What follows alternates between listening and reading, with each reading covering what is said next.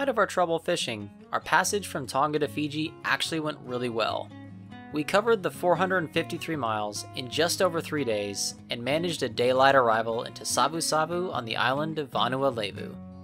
We've been told Fiji has done quite a bit of work trying to streamline their arrivals process, but we still found it rather complicated. While at a mooring under quarantine, we were visited by the health department, customs, immigration, and biosecurity. You have to pay cash for customs clearance and the health inspection, which necessitated a trip to the ATM and then wandering around town finding the offices. Then, once all that was completed, we were finally able to apply for the official cruising permit at customs. As I said, it was a fairly complicated process, but fortunately, Fiji would be well worth it. What are you getting all ready for? We are going diving. For birthday present, Yeah, right? Yeah, my birthday is uh, day after tomorrow, I think. Or is it Technically, tomorrow? it's tomorrow. It's tomorrow.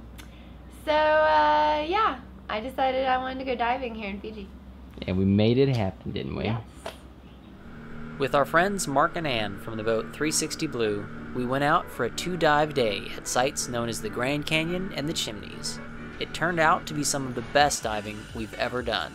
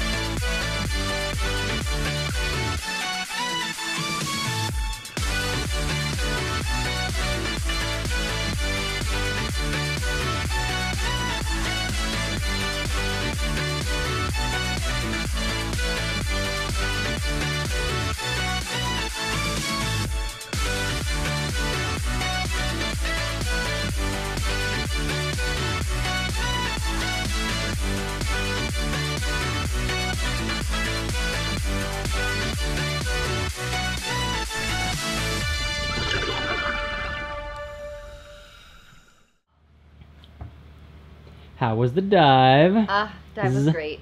The dives Plural. were great.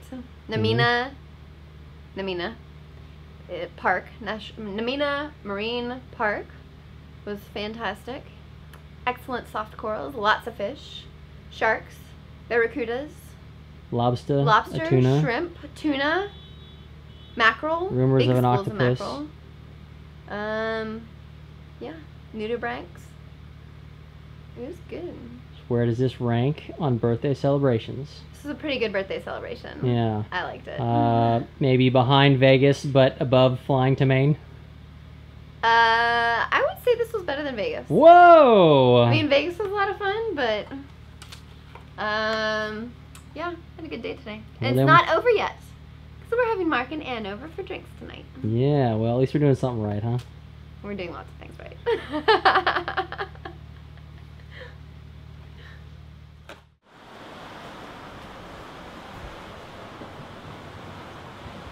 the sails are up and we're moving again. Where are Yeah. we going? we are headed to Suva. And uh, how long we were in Savusavu? Four nights, Four nights, including your birthday. including what? Your birthday, Oh yeah, my birthday. if I can pronounce proper English. Yo birthday. Your birthday, baby. and why are we headed to Suva so quickly? So we need to be in Suva like by Tuesday because our friend Kyle flies in on Wednesday. But there's this nasty, funky storm system that's gonna come through Fiji on uh, Sunday night, Monday. So we're gonna get to Suva early, hunker down in a hurricane hole, and just ride out the shit ton of rain and wind. Yeah, say hurricane hole. It shouldn't be that bad. Winds maybe 30 to 40 or something, but No, but you could call it a hurricane hole. there you go. For all of you listening, It's not a hurricane. shit's about to get crazy. Yeah, we'll see. The distance was just a bit too long to do in one stretch of daylight, so we opted to do a quick overnight sail. It was another great one, and we arrived at our protected anchorage well in advance of the approaching storm. There was a bit of concern over the last few days about a weather system that's rolling through here in Fiji. We have a friend coming to visit us in a couple days, and we decided to move down towards Suva a little early in order to be able to beat the system rolling through and get in a little more protected anchorage. Uh, I think a little bit further north, they're supposed to be getting winds 30 to 40 knots, but fortunately down here it's been pretty calm and just a lot of rain.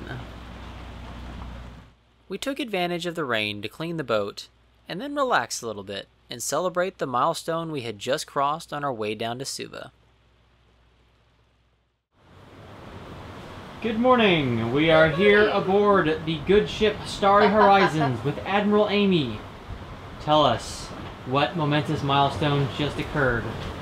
We just passed 178 degrees, 50 minutes, and 0.275 east, which means we are halfway around the world from La Rochelle. Holy freaking cow. Yeah, it's been a little less than 23 months since we left, and we've covered a lot of ground. Yeah, Half the world Half the world. a lot of ground. that's crazy. So, what is uh, the good ship Starry Horizons going to do to celebrate? Uh, I'm guessing you're gonna take a nap. Uh, I'm gonna get on watch. And, uh, Life rolls on, oh, huh? we had brownies. That's a good celebration in my book. brownies are always exciting. Yeah. Since Starry Horizons was launched on October 29th, 2014, we have visited 19 countries, sailed over 18,000 nautical miles, crossed two oceans, and met more good people and created more good memories than we can possibly count. It's been an amazing adventure, far beyond anything we could have dreamed of, and hopefully you'll indulge us as we take a look back at some of our favorite moments along the way.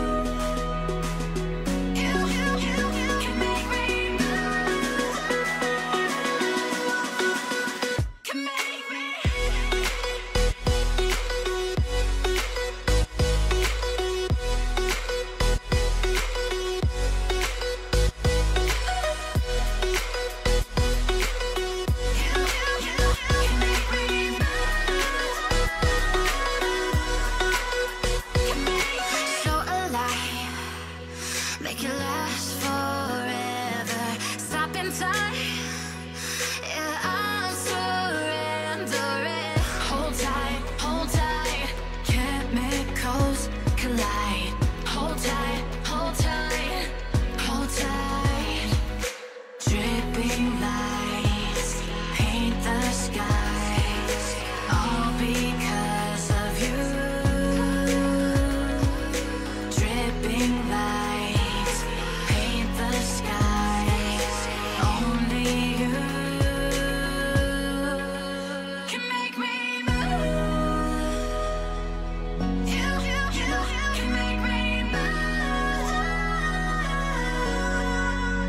can make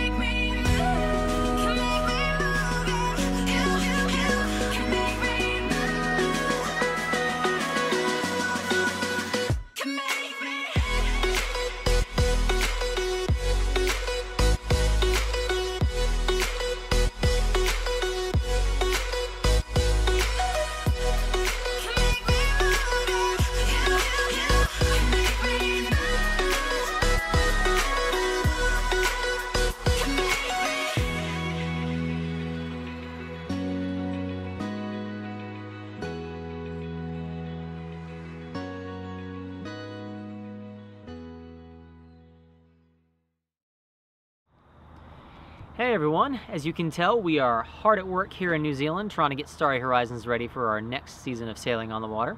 Hope you enjoyed that video and hope you don't mind that we got a little nostalgic as we uh, looked back on our halfway around the world adventure.